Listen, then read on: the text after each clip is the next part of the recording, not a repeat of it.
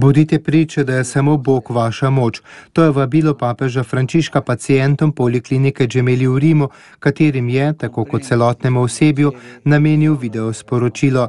Sveti oče naj bi 27. junija ustanovo o 50. obletnici njene ustanovitve tudi osebno obiskal, a je bil obisk takrat odpovedan.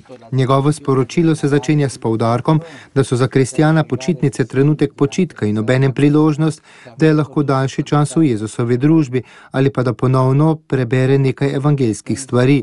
Za ostarele in bolnike, ki v tem poletnem času ostanejo še bolj sami in se srečujejo s še večjimi ovirami, zlasti v velikih mestih, pa je ta trenutek počitka tudi čas, v katerem se zdi, da življenjske težave postanejo še večje.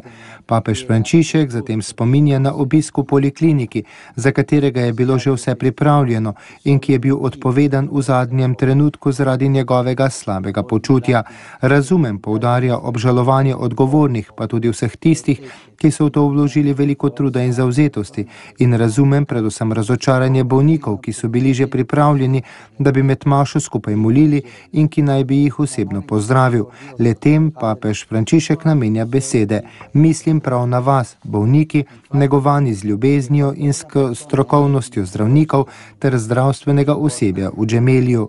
V molitvi negujte okus za božje stvari, bodite priče, da je samo Bog vaša moč.